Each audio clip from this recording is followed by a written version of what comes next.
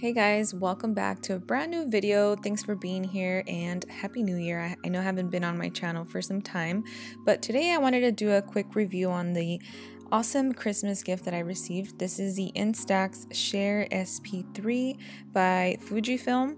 This is a Polaroid printer that prints pictures directly from your smartphone, and I've always wanted one of these, and so I'm here to show you how it works. Now, the film is sold separately, so I'm going to show you guys how to insert that into the printer at the end of the video, so stick around for that. So yeah, let's just get started. Okay, so before you start, you do have to download this Instax Share app. It's available for Apple and Android users. And then as you see, I just selected the picture that I wanted. This is a picture from Chinatown in New York. So I thought it would be a cool picture to print on a Polaroid. And I'm now I'm just adjusting what part of the picture I want to get printed so you could play around with that and you can also adjust the brightness, contrast, saturation. Now you do want to keep in mind that once you print it, it is going to get a little bit darker. So just keep that in mind so you don't, you know, over contrast it and then you're going to have a really dark picture. Um, you can also select from different filters that they have on there, black and white, sepia, once you're done editing and perfecting your picture, you're going to want to turn on the printer because the printer actually has a Wi-Fi built in it. And once that's on, you're going to have to connect from your phone to the Wi-Fi that the printer. So this is not a Bluetooth connection. This is a Wi-Fi connection. And you'll see here that I'm going to connect. And as soon as, as it's connected, you're going to be able to print.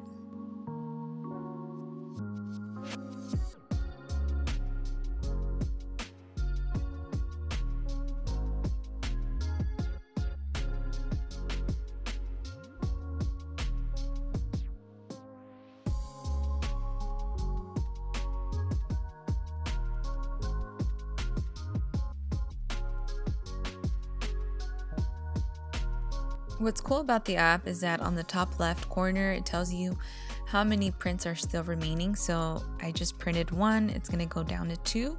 You can also tell on the actual printer itself with the little white bars that I don't know if you guys can tell, but there's white bars there that's showing you how many prints are still available.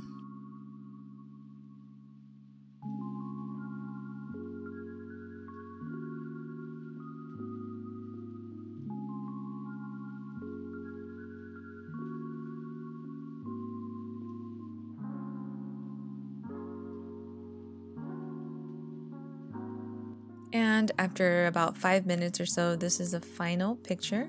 I thought this gift was an awesome gift, you know, for anyone that's wanting to print some Polaroid pictures directly from your phone and not necessarily from a camera. This would be a great gift for them. And yeah, so I'm gonna just show you guys how to replace the film because you don't want to replace it too early because then you'll damage the rest of the film. So not only will the printer tell you that you're out of film, so will the app. It'll tell you that it's time to replace it. You see that how it's blinking there.